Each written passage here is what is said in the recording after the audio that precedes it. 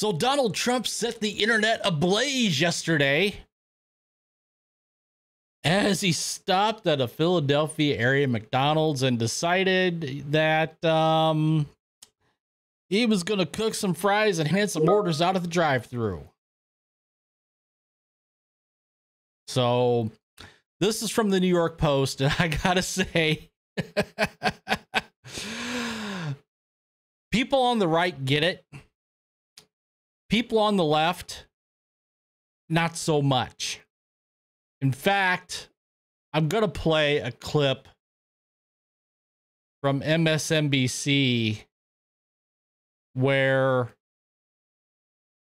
Barbara Lee, who's a representative um, out in California, she she just doesn't get it at all. But before I get into that, folks, just want to say thank you to everybody that, tunes into my channel, watches my videos, watches my content. Most of the time, it's pop culture, entertainment, Hollywood stuff, some sports. Very rarely do I get into the political things, but this one I just couldn't pass up. Just to so- show the absurdity on the left versus the right. Um, so if you want to support me in the channel, a couple ways you can do it. Smash that like button, give me a thumbs up. Subscribe if you haven't yet, if you like what I'm doing. And if you are subscribed, hit that notification bell so you don't miss a video. Oh, and one last thing before you go, before you leave, make sure to leave a comment down in the comments section. So, with that out of the way, here we go, folks. Trump works fry cooker at McDonald's and MAGA faithful line up to order. I'll take whatever he gives me. This is from Carson Swick and Ryan King over at the New York Post. In the race for President, Donald, Donald, Donald Trump is really cooking. Wearing a red tie and an apron, the former president served up some fries and political shade against his rival, that would be Kamala Harris during a behind the counter stint at McDonald's on Sunday, which drew a monster crowd to the Feasterville Trevose fast food restaurant. According to some publications, it was probably upwards of 10,000 people standing in line just to see him um, at the McDonald's, which that's a lot of people, folks. McDonald's has long been one of Trump's favorite chains, but his visit to the Golden Arches on Sunday doubled as an effort to reiterate his doubts over Vice President Kamala Harris's claims that she worked there in the 1980s. See, that's one of the things that Kamala Harris boasted. Kamala Harris, Kamala Harris boasted uh, when this campaign started is that she she was from a middle class family and, and she worked at McDonald's. But nobody can find a record of her working at McDonald's anywhere. So that remains to be seen for the internet sleuths out there to try to find out. I'll tell you what, it's a great franchise. It's a great company. Look at the crowd over there. Look at how happy everyone is. They're happy because they want hope. The commander in beef told reporters from the drive through window. I've now worked for 15 minutes more than Kamala or Kamala. And what his campaign dubbed as the October surprise. McDonald Trump worked the counter and bantered with customers who drove up. His campaign also released footage of him jubilantly preparing Happy Meals. It was clear they were loving it. We got the salt on it, never touches the human hand, nice and full, Trump said while filling a container of fries, a nod to his germophobic tendencies. Well over a thousand MAGA Donalds faithful lined Street Road in lower Southampton Township in an effort to meet Trump and say hail to the chef at the McDonald's in critical Bucks County, PA, outside of Philadelphia. I'll just take whatever he gives me, one man told the Post. You know, I think what would have been the greatest thing is if he would have fixed the ice cream machine or the shake machine and served shakes. That would have been the piece de resistance. That probably would have won him the election if he, you know, if he was the one to fix the shake machine. Love him or hate him, I just feel it's really cool to see this moment in history. Caitlin Hanlon, 33, a hairdresser from Feasterville who was wearing a pink MAGA hat, told the Post it's a really cool moment, but I obviously support him. Now, that's from the New York Post, which I, I, will admit this piece is mostly positive. Now let's flip over to our friends over at MSNBC. The aforementioned Representative Barbara Lee from California. Let's hear what she has to say. We're going to show you what Donald Trump is doing right now. He has gone to a McDonald's. He is uh, he's gone to this McDonald's and he's in the Philadelphia area. He's going to work a fryer apparently before he goes to the Steelers versus Jets game. Can, I mean, if you're on his campaign, and I know you are certainly not, I'm not making any implication of that, but what, what is the logic behind this, going to a McDonald's? I mean, we know the guy likes Big Macs and filet of fish, and he's used the word love to describe the way he feels about the food there before. But what's this about? Uh, there's no logic to it. It's a stunt. Uh, he has not put forth an economic agenda. Uh, he, as you know, is uh, appears to be not well, uh, and he's uh, engaged in some really bizarre types of activities during this campaign. It's a stunt. He's not well. He's weird.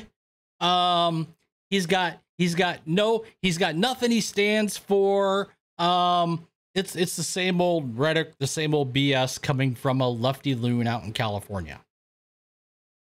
That's what that is. He's got no economic plan. Uh, blah blah blah blah blah. So this is just another one of those uh, stunts that he will continue on through the campaign. And I think that we need to really focus on making sure that uh, he is not elected, of course, because he is a threat to our democracy, but also uh, the Harris. Oh, there it is. There it is. He's a threat to our democracy. Well, Representative Lee, he may be a threat to your democracy, but he's not a threat to the Republic. Notice what I said there? Republic. We are not a democracy, folks. We are a constitutional republic. We are a representative republic. If we were a democracy, it would be complete chaos. It would be majority rule. We'd be ruled by nothing but the big cities like New York, Chicago, LA, Detroit. We don't want to be like New York, Chicago, LA, Detroit. We want to be better than New York, Chicago, LA, and Detroit. Lost agenda is about uh, the economy, reducing the cost of living, reducing the cost of prescription drugs, reducing the cost of housing, and making life better for everyone. And that's what we have to focus on and make sure we get every voter to the. Reducing the cost of housing. You know what that $25,000 credit is going to do to housing? First time home buyers or is it 50,000? Yeah, it makes no difference. 25,000, 50,000. What that what that credit is going to do, it's going to raise the cost of housing. It's not going to lower costs. You want to lower costs? I'll tell you how you lower costs. You cut spending. And you cut taxes. You know, there there's a misnomer out there that I always hear when somebody says I'm going to cut taxes. The first thing the media asks is how are you going to pay for it? You don't you don't pay for tax cuts. Tax cuts increase revenue. Well, you're only going to tax cuts for the billionaires out there. The richest are only going to see a tax cut. We need to increase taxes so they pay their fair share. Folks, do you realize millionaires and billionaires aren't taxed on their income because half of them they're not making an income per se like I am, like you out there probably are. They're getting taxed on their capital gains. They're getting taxed on their investments. That's how billionaires and millionaires are getting taxed. Just saying. But I digress. Polls and make sure that the voters vote for uh, the free future, not taking the country backwards, as you see what Donald Trump mm-hmm. continues to try to do. So I'm urging and encouraging everyone to get to the polls and vote for uh, Kamala Harris and Tim Walz. Vote for the future, not vote for the past. Oh, you mean the robust economy while Trump was in office up until that little thing happened in 2020? We shouldn't be voting for a robust economy. It begs the question. It's a real easy question. Are you better off now than you were four years ago? I think the majority out there can answer that question honestly and say, no, I'm not. Price of gas is up, price of groceries is up, price of electricity is up, interest rates are up. The price of everything is up.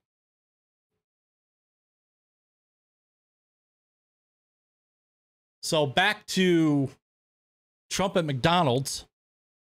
Uh, the quartering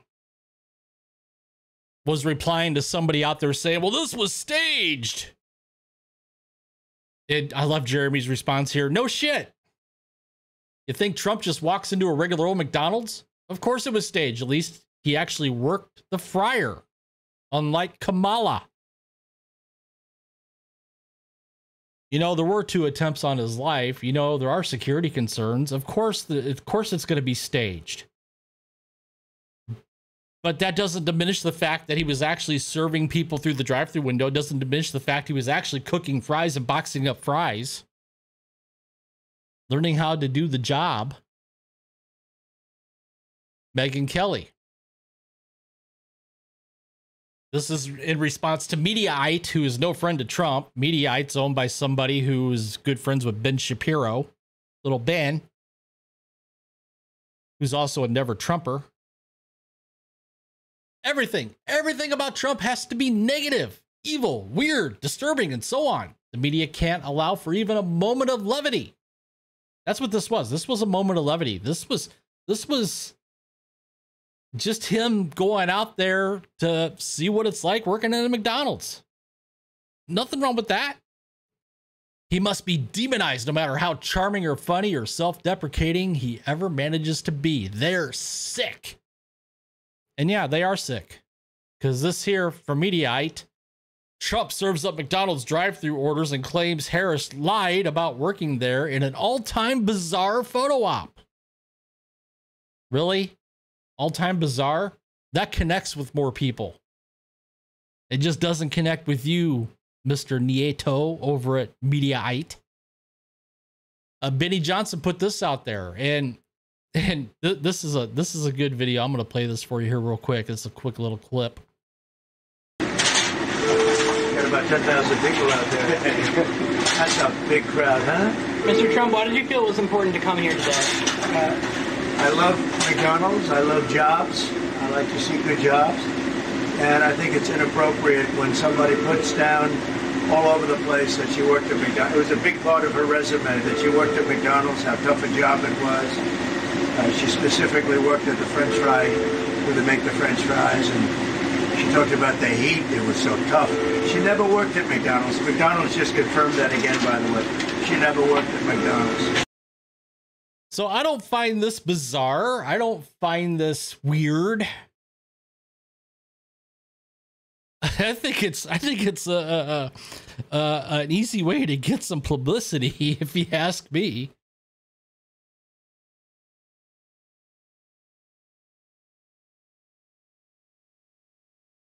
Um, Donald Trump puts on an apron and works the fry machine at McDonald's in Philadelphia. He now has more experience working at McDonald's than Kamala Harris. Fries are magnificent. We're going to make the best fries, amazing fries, the best fries anyone has ever seen. Charlie Kirk had put out this little uh, quip over on X, this little post. Two McDonald's customers come up to the drive up window to see President Trump greet them. and then drop this absolutely amazing line. I could do this all day. I wouldn't mind this job. I like this job. I think I might come back and do it again. Thank you. Look at Oh, that. Mr. Look Pres- at that. How are you? Thank you, Mr. President. Nice to see you. How you?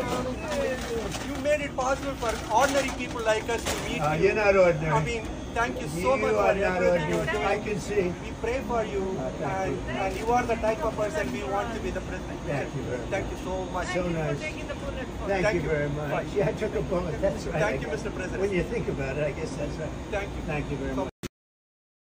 So there you go. That was yesterday. Trump at McDonald's practically breaking the internet. And not only breaking the internet, but I think he might have broken Barbara Lee over at MSNBC. So, what do you guys think? Comment down below before you leave. While you're at it, please take the time, if you would, to smash that like button. Give me a thumbs up. Subscribe to the channel if you haven't already. Hit that notification bell so you don't miss a video. And with that, I will see you guys